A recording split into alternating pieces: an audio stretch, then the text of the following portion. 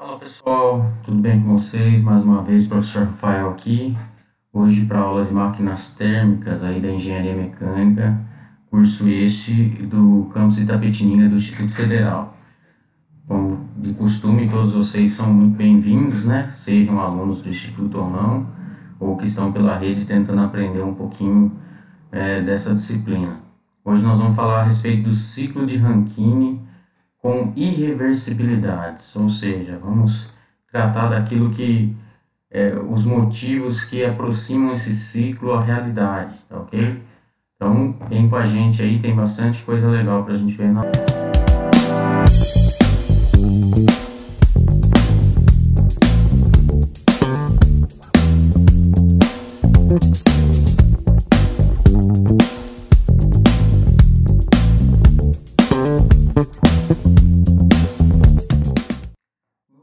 pessoal, então começando a nossa aula aí, só dando uma recapitulada bem rápida da aula passada, né?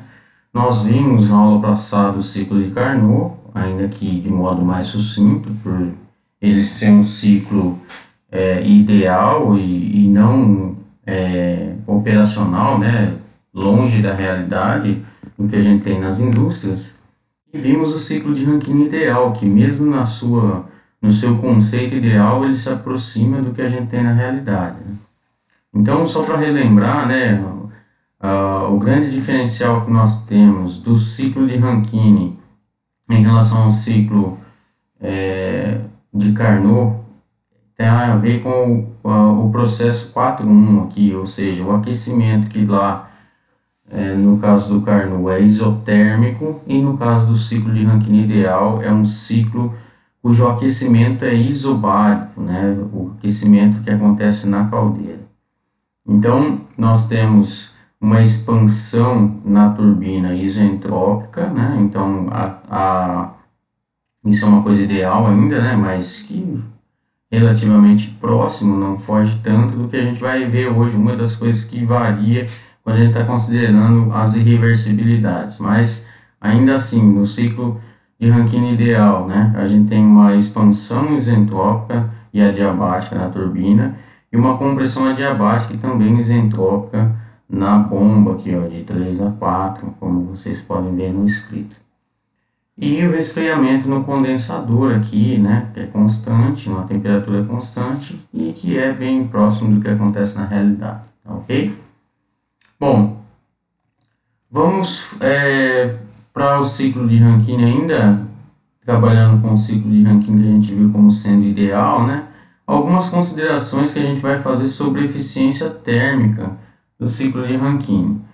Então, é, olhando graficamente, né, a gente pode pensar que nós conseguimos quantificar as quantidades de calores que entram e que saem de um ciclo de Rankine basicamente pelas áreas abaixo das curvas, né, abaixo dos, dos pontos. Então, por exemplo, o, o calor que entra, né, o calor que é adicionado no sistema, é, com base lá na queima do combustível na nossa caldeira aqui, a gente gera energia, né, na forma que estão nos gases, né, esses gases a gente força eles a trocar calor, né, nos tubos da caldeira, é uma troca indireta, né, e aí a gente agrega energia a, ao nosso fluido, né, que está aqui circulando ao longo do nosso ciclo aqui, ciclo de Rankine.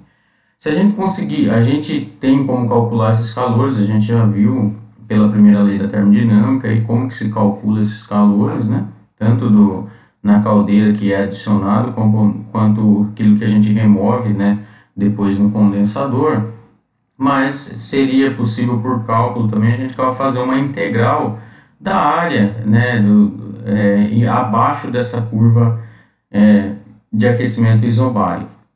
Né? Então, uma integral em função de temperatura e entropia. Né? Então, por isso, a integral de 4 a 1 aqui de TdS. Né?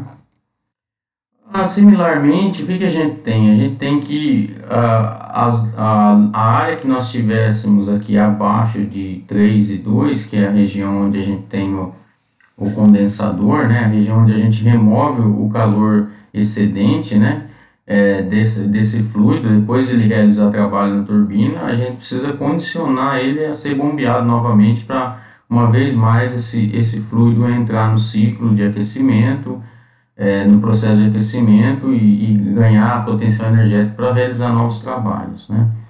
Então, a gente acaba é, removendo esse, esse calor residual que a gente tem aqui, né, nesse nosso fluido, né, que está uma mistura aqui, de tal forma levar ele a, a líquido apenas saturado. Né?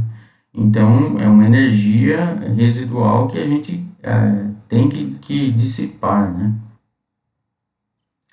Então, quando a gente é, para e pensa ainda aqui, a gente sabe, por exemplo, que o que, que é o trabalho de tudo. A gente sabe, por exemplo, que o calor que é gasto na caldeira para fazer troca térmica e potencializar o nosso fluido aí, gerar vapor, ele é um gasto energético que eu tenho. Né? É o gasto total energético que eu tenho aqui e que o nosso trabalho útil ele é em relação a essa área total aí, né?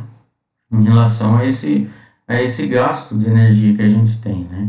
Então a gente sabe que o trabalho, por exemplo, é, o trabalho útil vai ser o trabalho da turbina menos o trabalho da bomba, né? Então uma das formas de maximizar, se a gente for pensar aí, é, de um modo geral, se, se eu conseguir gerar mais trabalho na turbina, eu maximizo o rendimento do meu ciclo, né?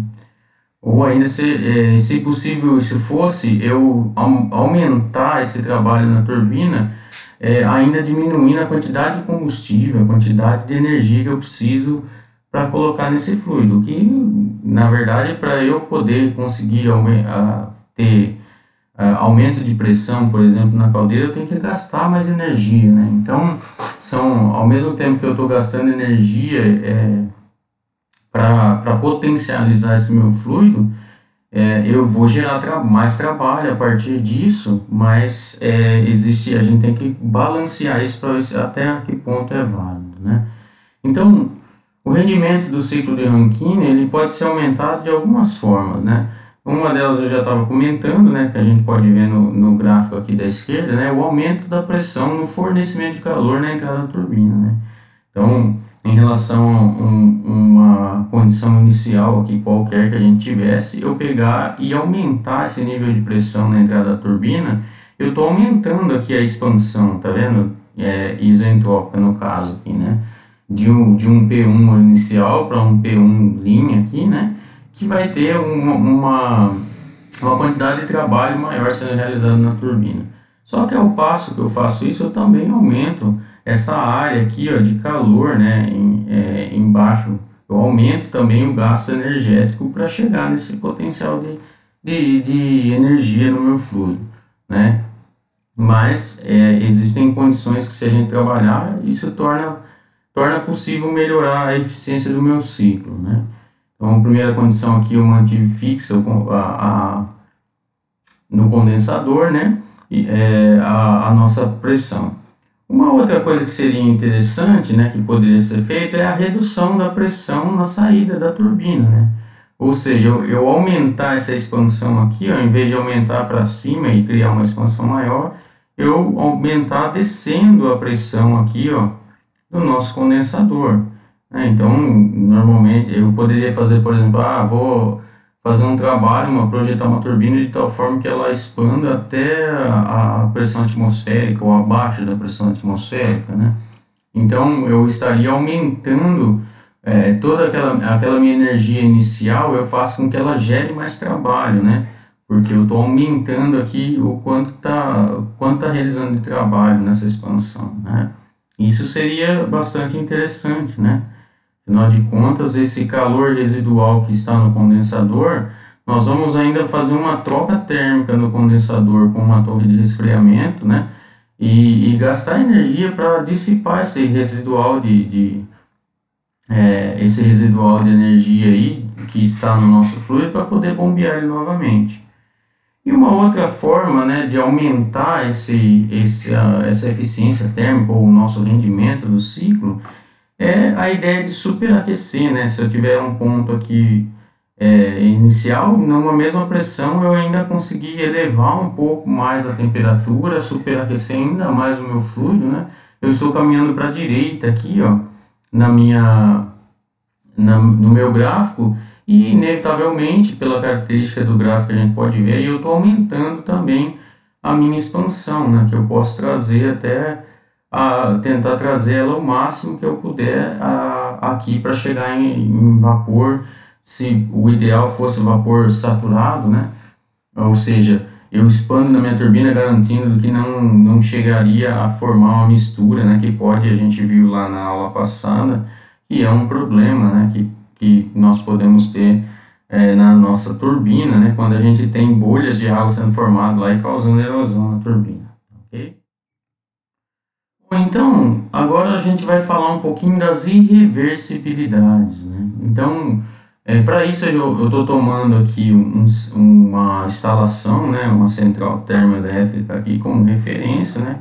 Então, vejam que o desenho é um pouquinho diferente, mas é, em suma é o que a gente tem falado até então, né? só um pouco mais completo.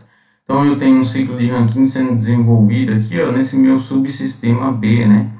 Onde eu tenho uma bomba com água de alimentação do fluxo, bombeia água para a caldeira, né, que é onde é, vai, vai se gerar vapor, esse vapor é expandido na turbina e depois da turbina, é, esse fluido ainda com residual de energia, ele é, é abaixado seu potencial energético no condensador, né, e recomeça tudo de novo. E aí a gente consegue ver outros subsistemas, né, então pendurado na nossa turbina um gerador elétrico, né? Então, no caso de uma cogeração de energia, né? Onde eu pego potência mecânica e transformo em potência elétrica. A gente pode ver também os gases das, da combustão, né? É, indo para a chaminé depois de realizada a troca térmica. A gente também consegue ver aqui no condensador, que é um trocador de calor, né? A gente vê a torre de resfriamento que trabalha é, para trazer água aqui resfriada e fazer essa troca com o nosso vapor aqui saturado, essa mistura saturada que a gente tem aqui para baixar o potencial e ela poder ser bombeada novamente, né? Então também tem um, um ciclo é, de, de bombeamento da água aqui secundário, né? Que não é a mesma água que entra na caldeira, longe disso, né? Isso aqui não, é uma água que não tem um ela é tratada, né, para evitar fungos e coisas do tipo na torre de resfriamento, né, e ela poder recircular também mas ela não tem contato direto com a água que entra na caldeira, né, que é uma água super limpa, super tratada, né, então é um ciclo, são ciclos à parte, né, todos os contatos aqui eles são indiretos, todas as trocas térmicas são indiretas, inclusive, obviamente aqui dos gases, né, de combustão, né, que são forçados a trocar calor com os, nos tubos da caldeira, então são todas trocas indiretas, né, nesses trocadores de calor. Bom, vamos falar propriamente dito, então, é, pensando no nosso subsistema B aqui, ó, onde a gente tem, então, um ciclo de Rankine, né? É, vamos pensar que essa máquina, essa máquina térmica aqui está funcionando segundo o ciclo de Rankine. Então, onde que a gente tem perdas, né, é, ou irreversibilidades, né? Então, por exemplo, na turbina, é, por mais que ela seja eficiente, ocorre um pouco de perda de calor, né? Conforme o vapor está expandindo nas próprias da turbina aqui para o meio, a gente vai ter perda de calor. Mas essa perda ela é desprezível se comparado né, com uh, essa, essa perda de rendimento devido ao que a gente chama de irreversibilidade.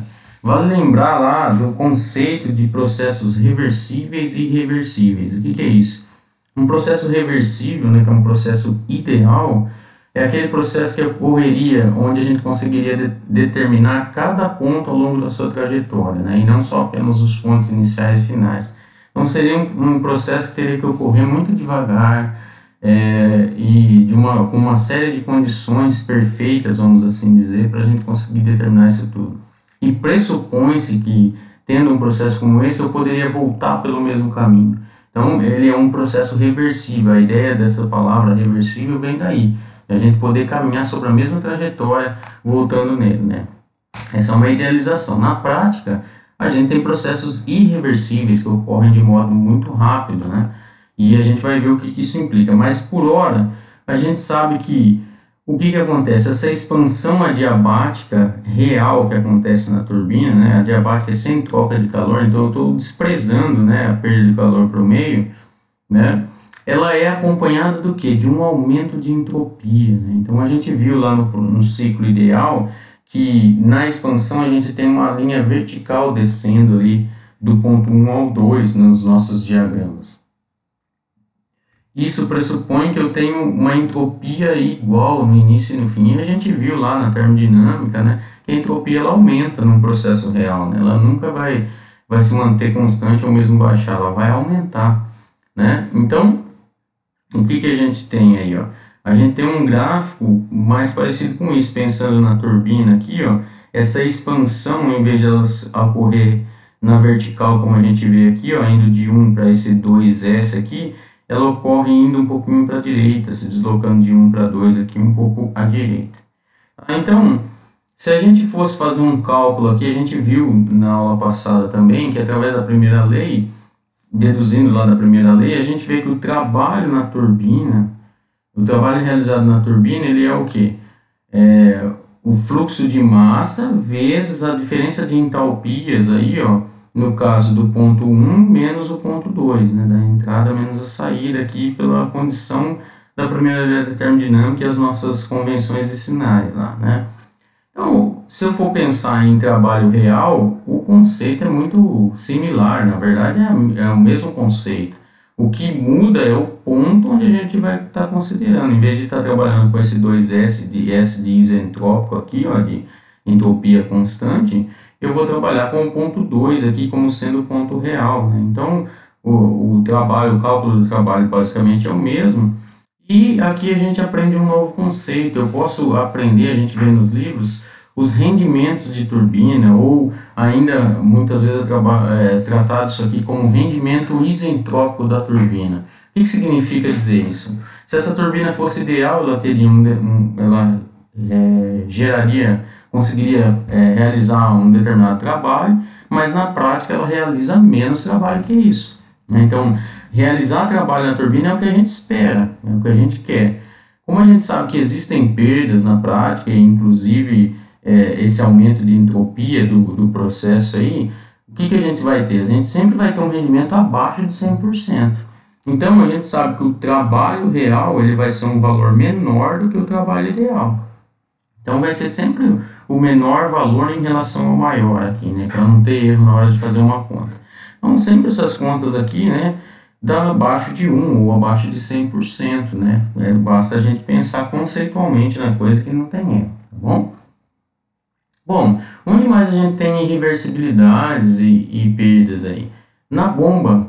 Então, por exemplo, no processo de bombeamento real, né? O que que acontece? A mesma coisa, lá a gente pensou numa situação ideal, onde o bombeamento ele também acontece na vertical, né? Ele também ocorre de modo isentrópico no ciclo ideal. Mas na prática, esse bombeamento ele também é é, com um aumento é, da entropia. Né? Então a gente tem o ponto, na verdade, aqui, ó, essas linhas tracejadas que indicam o que aconteceria na realidade. Quando eu estou bombeando o meu fluido de um ponto aqui até chegar na pressão que eu, eu desejo entrar na entrada da caldeira, né? Então, eu também tenho um aumento de entropia e também existe uma transferência quando a gente está bombeando um fluido, a gente acaba aquecendo ele, mas essa a gente vai considerar, ainda considerar, né, que essa transferência, que essa, esse bombeamento ele é adiabático, ou seja, sem perda, sem, sem troca de calor, né? Por quê? Porque a, o quantitativo, o efeito disso aqui é muito pequeno em relação ao, a esse outro efeito. Então a gente acaba por desprezar esse efeito menor, ok? Similarmente ao que a gente viu para a turbina, Aqui para o, para o trabalho da bomba, o conceito também a gente viu lá pela primeira lei da termodinâmica, o trabalho da, turbina, da bomba, melhor dizendo, ela é o fluxo de massa aí do ciclo, né, vezes H3 menos H4, né, então a gente sabe aqui, por exemplo, vale lembrar isso, que nós temos um potencial energético em, em, em termos de entalpia menor em 3 do que em 4, né, Dá para ver até graficamente isso. Então isso aqui acaba tendo um resultado negativo, né? E a gente tem que tomar cuidado com esses sinais, né? É, esse resultado negativo, o que indica para mim? Não é que eu não estou gastando trabalho aqui, pelo contrário, ele indica justamente isso, que eu estou bombeando, eu estou gastando energia elétrica para inserir trabalho nesse meu ciclo. Né? Então, por isso, esse sinal negativo vem a calhar nesse sentido. Em alguns livros, é, em algumas explicações que a gente pode encontrar por aí, o pessoal inverte aqui, ó, coloca H4 menos H3, né, independente se é isentrópico ou não. Por quê? Para eliminar com esse sinal e depois na hora dos cálculos de rendimento acabar não tendo confusão, mas muitas vezes o pessoal acaba esquecendo a parte conceitual da coisa. Eu mantenho conforme a, a, a nossa dedução a, a, partir da primeira lei da termodinâmica e conforme a nossa é, convenção de sinais, que é uma convenção genérica que todo mundo usa aí, e faço questão de lembrar para vocês, né? isso aqui vai dar, um, vai dar um resultado negativo, porque nós estamos, de acordo com a nossa convenção, adicionando trabalho ao sistema e isso é um trabalho negativo. Quando a gente pensa em trabalho da bomba de, é, real, o conceito é muito similar, né? então nós também teremos aqui um resultado negativo, né? É, pelo mesmo objetivo, e a diferença é que o que acontece? Para mim, bombear é um, é um gasto de energia que eu faço, né? Então, na teoria, eu gastaria uma energia, mas na prática, para conseguir bombear até o nível que eu quero, eu vou gastar mais do que eu gostaria, né? Então, é sempre assim, na turbina eu quero gerar trabalho, mas acabo gerando menos do que a expectativa. E na bomba, por outro lado, eu quero gastar nada, né, quase nada, mas eu acabo gastando mais do que seria se ela fosse ideal. Aqui a gente também tem o conceito né, de é, rendimento isentrópico da bomba, ou seja, o rendimento da bomba. Uma bomba ideal, né, é, eu gastaria menos do que numa bomba real. Numa bomba real, como ela tem perdas, ela não é, não é perfeita, né, eu tenho perda por atrito e coisas do tipo né, no, no processamento. Então, o trabalho que eu gasto é, nessa bomba real ele é maior do que o que eu gastaria se ela fosse ideal, se não houvesse atrito, por exemplo, né? Então, novamente, esse rendimento sempre vai ser menor que 1, ou menor que 100%, né? Para não ter confusão na hora de fazer os cálculos. Alguns outros efeitos que a gente pode ter aí, perda de eficiência do ciclo. Então, por exemplo, quando a gente queima combustível né, e faz a subsequente transferência de calor né, de, desse, desses gases para o nosso fluido aqui na caldeira. Essa troca de calor, né, a gente sabe que não é perfeita também. Então, parte desse calor não consegue ser, a gente não consegue trocar todo esse calor aqui e, e adicionar ele todo no fluido e, e garantir que vá todo com o fluido para o processo.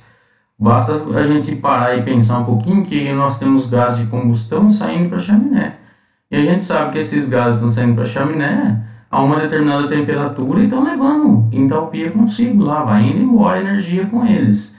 É, fora, por exemplo, se a gente tiver os tubos da caldeira aqui, é, por exemplo, se não tiver em boas condições, né, por exemplo, com incrustações, com coisas do tipo onde a eficiência térmica na troca de, de calor aqui de condu condução de é, é condução e, e é, desses é, desses gases trocando calor com, a, com, os nosso, com o nosso fluido, isso também pode influenciar, né? E mais, mais uma boa parte desse calor acabar não conseguindo trocar, é, ser trocado aqui com o nosso fluido, e indo embora também no processo aí.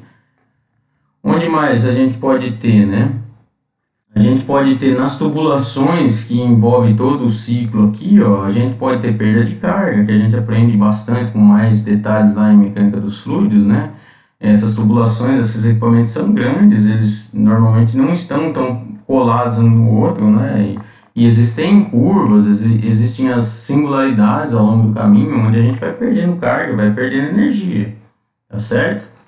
É, e também a gente também perde calor, né? É, é, ou perde eficiência no ciclo na troca que a gente faz aqui, ó, na transferência de calor para refrigerar essa água. Então, o que acontece? Eu tenho um calor residual aqui que o ideal seria eu conseguir consumir ele todo a ponto de baixar a minha, o meu potencial energético dessa, desse fluido ativo aqui, ó, que eu já pudesse bombear ele todo, mas na prática a gente vê que acaba precisando, né, de uma máquina térmica, de um trocador de calor como condensador aqui, para rebaixar essa energia e eu poder continuar, recomeçar o meu ciclo, né.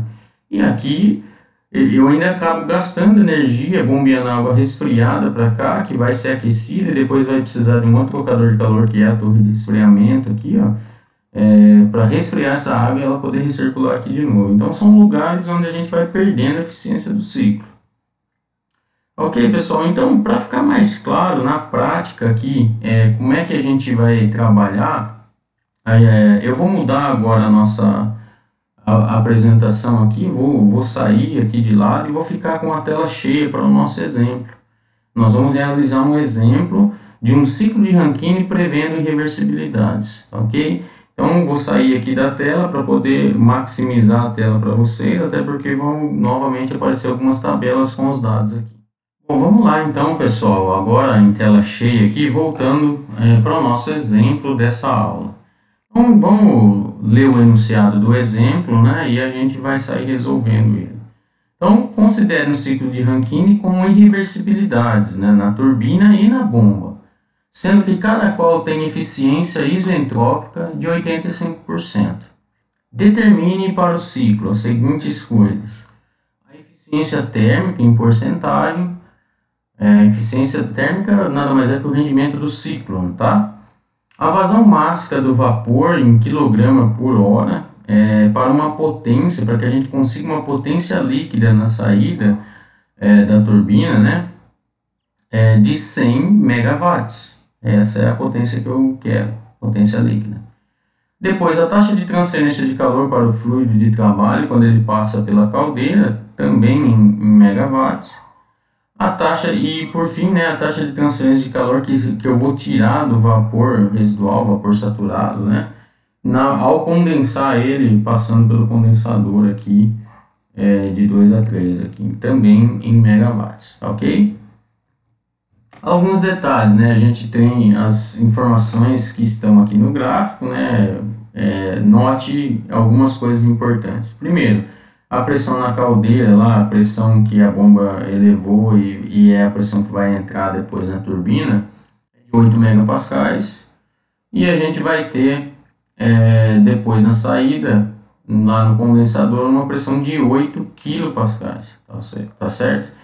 Detalhe, no ponto 1, o que, que a gente tem aqui? Ó, vapor saturado seco, né? Seco um termo aí informal para dizer que estou no ponto máximo, aqui no limiar de virar vapor superaquecido. Então não tem mistura, é só vapor, só que ele é saturado, tá? Outro detalhe aí que a gente tem é que aqui embaixo, ó, na bomba, a entrada vai ser de líquido saturado, ou seja, eu vou expandir esse meu vapor na turbina, né? E ele vai ser aqui condensado no, no nosso condensador até chegar em líquido saturado tá? E aí, como vocês podem ver em destaque em roxo aí, a gente tem as irreversibilidades. O que, que significa isso? Os nossos bombeamentos e, e, expansões aqui na turbina, eles não são isentrópicos, eles são adiabáticos, né, sem perda de calor, sem adição de calor, mas eles são é, um aumento de entropia, né? Então a gente tem que a entropia em 3 não é igual à entropia em 4, tá? Eu marquei aqui 4S como se fosse uma, uma entropia é, igual a de 3 aqui, né? Para um processo isentrópico, e a mesma coisa vale para o 2S aqui, mas nós vamos trabalhar com o que seria mais próximo da realidade, ok? Então vamos lá. A primeira coisa que a gente tem que fazer nesses exercícios, isso vai ser prático em praticamente todos, né? Isso é determinação, né? Ou determinar os estados termodinâmicos em cada ponto. Vamos começar, como de costume aqui, né? Pelo ponto 1, que é o que? A saída da, da caldeira ou ainda a entrada da turbina, né? Aquele conceito aqui, a gente está falando ainda que implicitamente, né, que eu estou desprezando as perdas nas tubulações, que é a mesma condição que eu tenho é, do meu vapor saindo da caldeira é a, que, é a mesma condição que vai estar na entrada da, da turbina. É, na prática, lá, quando você estiver na indústria, a gente tem medições, é, a gente tem parâmetros de controle tanto na saída da caldeira quanto na entrada da turbina, inclusive dá para comparar e ver a perda ao longo desse caminho aí, né? Mas aqui, para efeito de, de, exemplo, a gente vai considerar essa parte como sendo ideal, tá? Vamos nos, nos ater nas irreversibilidades, tá?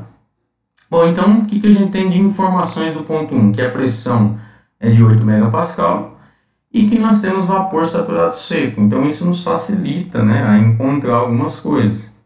Então, já direto pela tabela, a gente consegue aqui, por exemplo, se eu sei que é vapor saturado seco, eu sei, né, vamos voltar aqui rapidamente, que esse, esse ponto aqui ele é conhecido diretamente da tabela, né? Então vamos lá, para 8 megapascal, notem que eu já estou usando a tabela que o Bruno providenciou para a gente aí no grupo, né?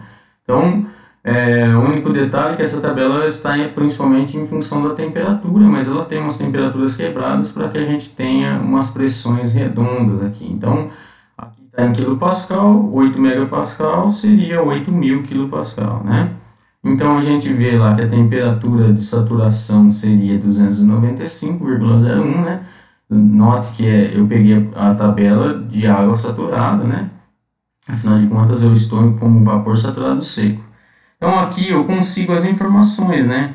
de, por exemplo, entalpia do, do líquido, a diferença entre líquido e vapor e entalpia do vapor aqui, que é uma informação que nos vai ser interessante, assim como a entropia aqui, né? Então, é, trazendo para cá, as nossas dados são a temperatura, a, a, a, entalpia no ponto 1, então, vai ser a mesma, que é o principal dado que a gente precisa para os cálculos de trabalho é, vai ser a entalpia do vapor nessa condição de saturação, além da entropia, que é importante a gente trazer aqui para os demais pontos, tá ok? Então, essa, esse foi o nosso primeiro ponto. Agora, a gente vai calcular o ponto 2, mas num primeiro momento a gente vai usar o ponto 2S. Por quê? Porque nós sabemos o que? Nós sabemos a pressão aqui, ó, é, depois da expansão, que é de apenas 8 kPa, e a gente sabe também que essa entropia aqui, ó, se eu tivesse um processo ideal, eu teria uma entropia que é conhecida de lá de cima. Né? E aí, é, o, o gráfico sugere, né, mas por uma questão de, de preciosismo até da minha parte, a gente vai fazer aquela conferência. Nós temos uma mistura saturada aqui, ou será que essa irreversibilidade foi tão grande que ainda está é, vapor só saturado? Poderia ser? Poderia, pouco usual isso, mas poderia. Vamos, então a gente vai conferir é, basicamente se esse ponto aqui ó, é diferente desse, né? É, pensando depois dessa expansão. Normalmente é, mas como é que a gente tem certeza disso? Eu pego na tabela e vejo as informações, não tem muito segredo. Bom, então o que, que a gente vai fazer? A gente vai pegar lá a 8 kPa né, e vai conferir é, se esse valor de entropia aqui ó, está no intervalo é, para 8 kPa agora, né, não para 8 mega, né, mas para 8 kPa, se a nossa entropia que está aqui no final, ó, que é 0,5925 é para o líquido e para o vapor 822,73. Não é isso? Então, o que, que a gente tem aí? Ó? Que esse 5,74, que é essa entropia, esse valor de entropia que é igual lá em cima, ó, ele está nesse intervalo. Então, a gente tem uma mistura saturada. Aí vocês poderiam me questionar, falar assim, ah, professor, mas uh, a gente está pensando com o ponto 2 aí, né? Que é, afinal de contas, pensando numa situação de reversibilidade, né? Como o rendimento é de 85%, a gente pode fazer uma conta rápida aqui e ver, né?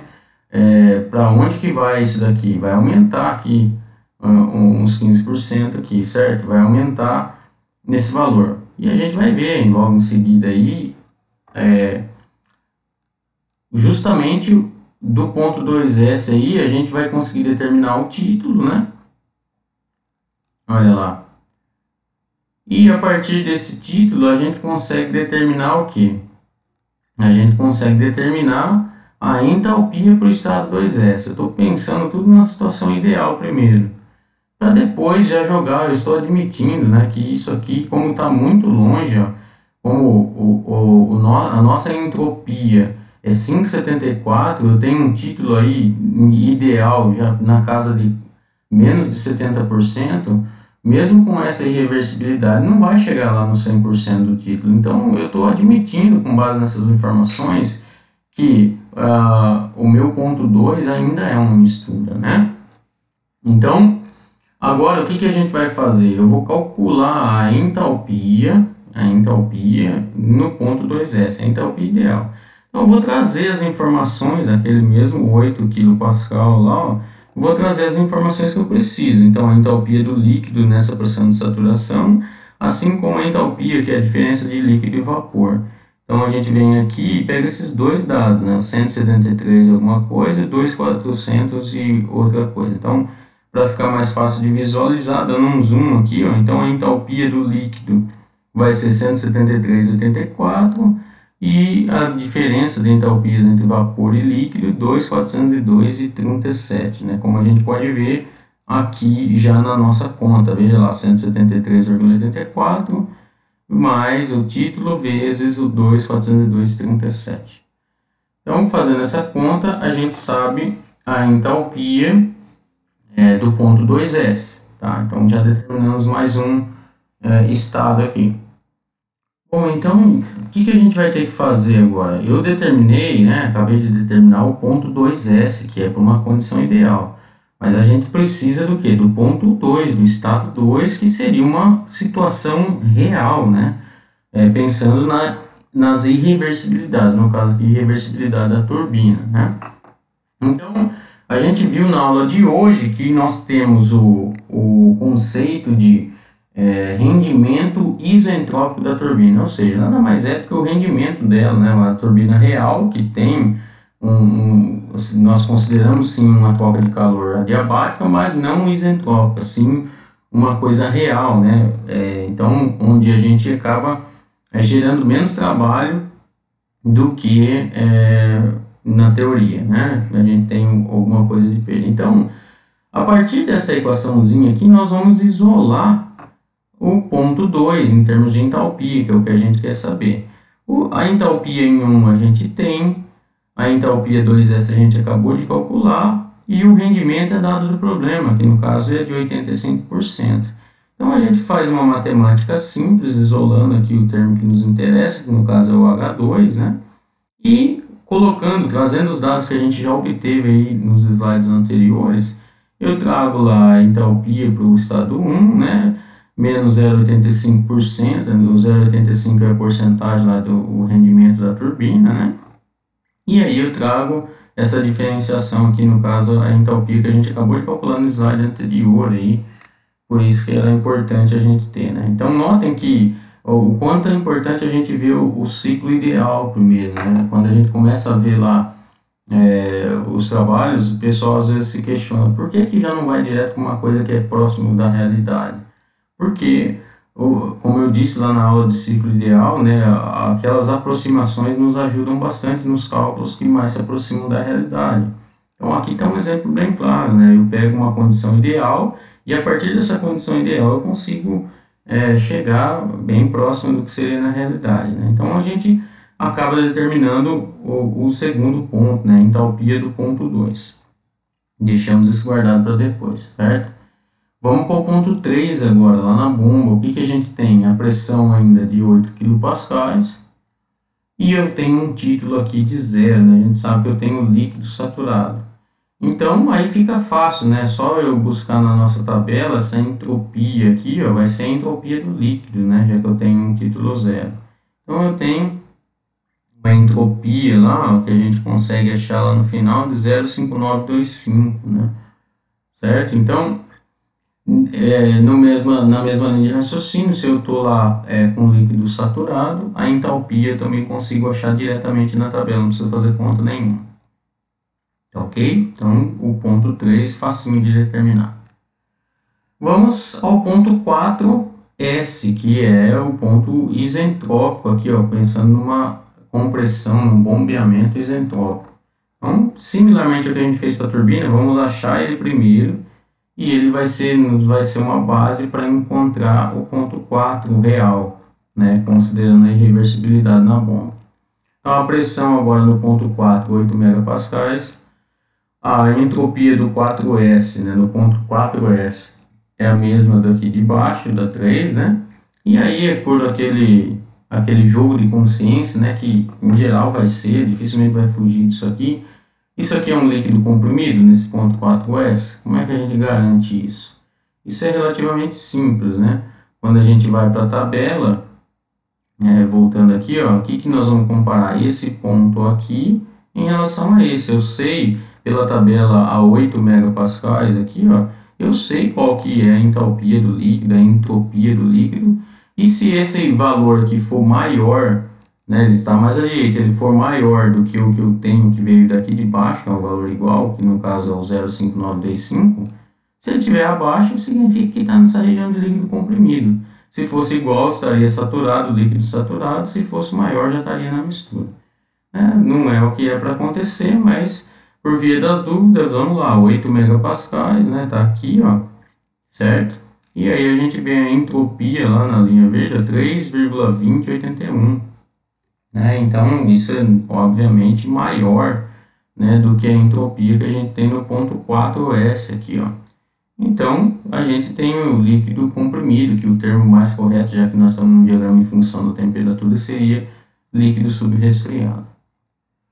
Bom, então vamos lá. É, agora, para a gente continuar, assim como na aula passada, nós vamos determinar o ponto 4S aqui, ó, usando uma tabela de vapor eletrônica. Né? A gente vai usar o site, no caso, da Spiraxarco, que é uma empresa que trabalha aí na área de, de geração de vapor. Né?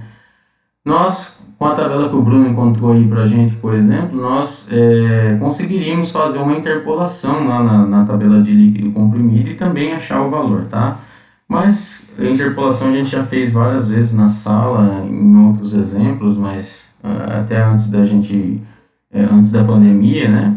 E para ganhar um pouquinho de tempo aqui, não só não se estender demais, eu vou usar os dados da Spiraxarco lá. Então, o que, que a gente tem de informação? a gente vai é, para líquido comprimido a 8 megapascal, né? E essa entropia. Então, esses dados são os seus dados de input lá, né? Que a gente vai ter no, no site. Eu trouxe a, a tela lá de input do site para cá. Então, o que eu coloquei? Eu ajustei aqui, como eu mostrei para vocês na aula passada, a nossa é, pressão, né? A, melhor dizendo, a, a unidade de pressão, que no caso está em megapascal. Também ajustei a entropia específica da água, que nós temos em kJ por quilograma, assim como os dados de saída também coloquei nas unidades que nos interessam. E aí a gente vê lá então que a temperatura naquele ponto ali vai ser de 41, 75, né, 74, melhor dizendo. A gente vai ter lá também o volume específico, que pode ser útil para alguns cálculos, inclusive em, algumas, é, em alguns livros a gente vai ver tem como a gente calcular esse trabalho de bomba a partir desse volume específico né, e um diferencial de pressão. Mas a gente está escolhendo trabalhar direto com as entalpias aqui. Bom, é, e aí a gente pega o principal dado aqui, que no caso é a entalpia. Né, entalpia específica, que está aqui, 181,44 aproximando, né, kilojoule por quilograma. Então determinamos o ponto 4S. Agora a gente precisa determinar o ponto 4, né? E a gente vai fazer isso de modo similar ao que a gente fez com a turbina. Aqui a gente também tem o, a, o rendimento isentrópico, né? É, da, da bomba, né? Então, note que agora a gente vai ter o que? O, o, a, quando a gente está trabalhando com o ponto 4S, é o trabalho, né? Isentrópico da bomba, né? Que a gente faria na bomba. Então, pensa lá, é, eu vou, em, em, teoria, eu vou gastar um trabalho menor, né? Pensando numa bomba ideal, perfeita, eu vou gastar um pouquinho só de trabalho para fazer o, o, que eu quero lá e chegar no potencial que eu quero. Mas na prática, a gente acaba consumindo mais do que a gente espera, né? Então, sempre assim, onde a gente vai gerar trabalho, que é o que nos interessa, acaba perdendo um pouco. E onde a gente gostaria de economizar, acaba gastando um pouco mais. Essa é a realidade da vida, tá? Então, a gente trabalha com, com essa equação, né? faz uma, um trabalho bem simples na matemática aqui, e notem que eu vim aqui e coloquei ela em módulo. Por quê?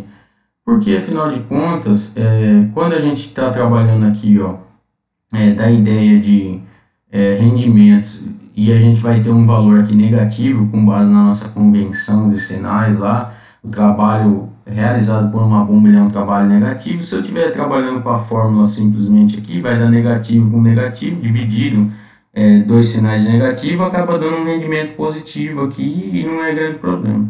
Mas quando a gente destrincha matematicamente aqui, acaba sobrando um sinal, né?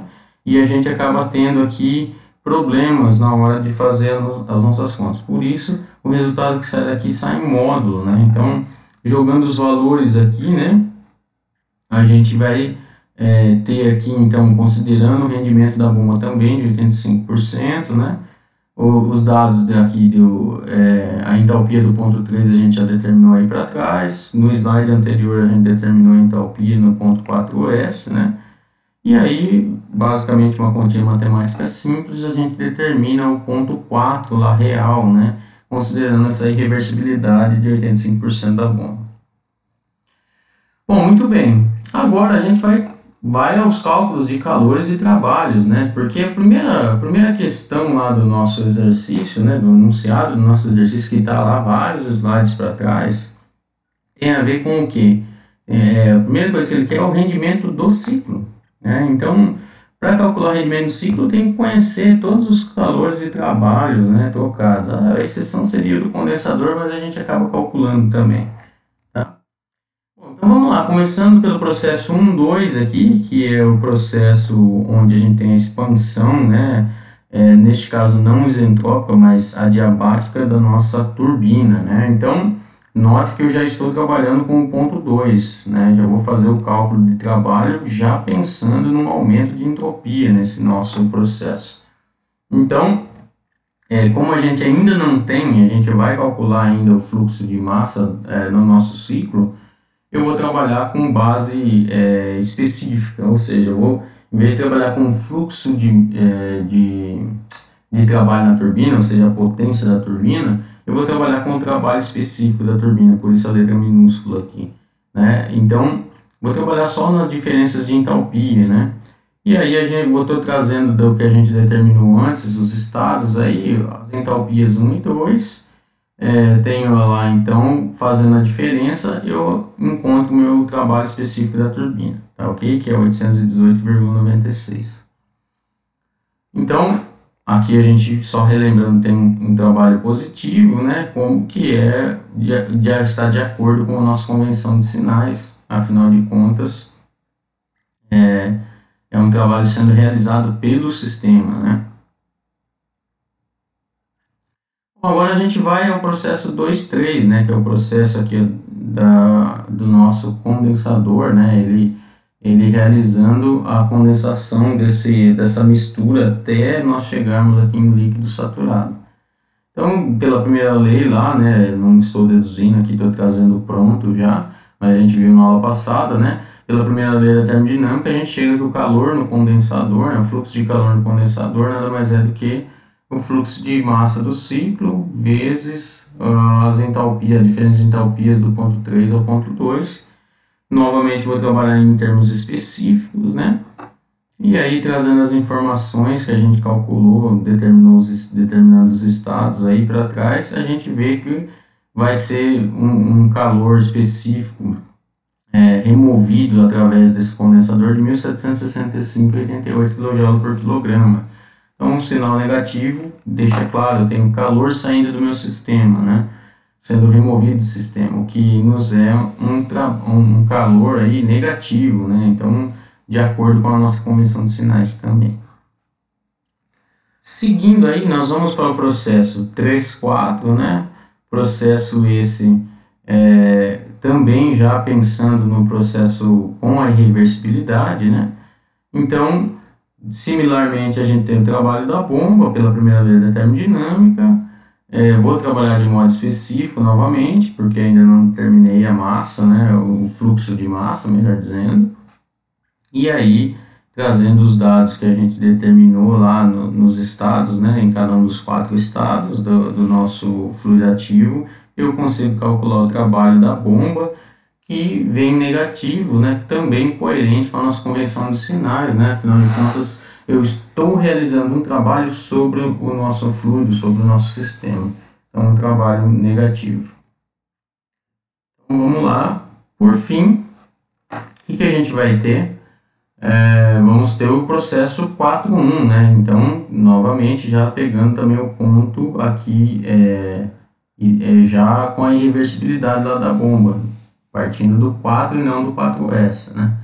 Então, novamente, é, da primeira lei da termodinâmica, a gente sabe que o fluxo de calor na caldeira é, uma, é o fluxo de massa vezes H1 menos H4, né? Então, uh, então, neste caso aqui, final menos inicial, né? E aí a gente trabalha de modo específico, como nos demais, até a gente determinar a massa, o fluxo de massa, né? E aí a gente encontra o calor que é adicionado ao sistema, por isso positivo, né? O calor entrando no sistema, que vem, né? Um calor que vem da, da troca térmica lá, é, da queima do combustível e essa troca térmica sobre o nosso fluido ativo. Então, 2.575 e 77 kg, kJ por quilograma. Bom, resumindo, a gente tem o trabalho específico da turbina, o calor específico no condensador, o trabalho da bomba, específico da bomba, e o calor específico também na caldeira.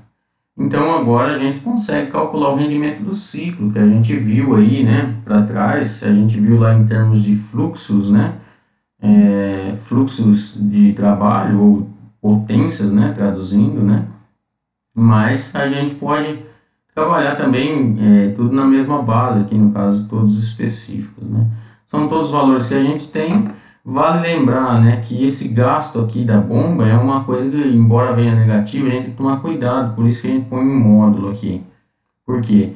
Porque a bomba é um gasto de energia que eu estou fazendo é, quando eu estou é, bombeando. Então ele tem que sair, ele tem que reduzir o meu trabalho útil, né? Ele não pode somar. Se eu simplesmente trouxer aqui o valor para dentro da fórmula e não colocar dentro do módulo, eu estou fazendo um equívoco, né? Então tem que tomar cuidado com isso. Então, do, do trabalho que eu consegui gerar na turbina, eu desconto o que teve da bomba, né? É, e aí, isso tudo em relação ao gasto de energia que eu tive de, com a queima do combustível, que esse, toda essa energia que foi adicionada, né? É, ao meu fluido, né? Então eu tenho o que eu consegui gerar de útil em relação ao todo de energia que eu tinha, né, trocado com o meu fluido. E aí a gente chega no, no resultado aí de rendimento na ordem de 31,5%, né, do nosso ciclo. Essa então é a resposta para a letra A, né, do nosso do nosso exercício, tá? Então tudo isso que nós fizemos até aqui para resolver a primeira letra, tá? Bem, a segunda letra pedia para que a gente calculasse o fluxo de massa, né? E a gente sabe lá que é, esse fluxo de massa era para que a gente conseguisse gerar, a partir dessa máquina térmica e operando nessas condições, a gente conseguisse gerar uma potência líquida de 100 megawatts, né? Essa potência é a potência do que? Do ciclo, né? Ou, e essa potência líquida do ciclo, onde que eu consigo ela?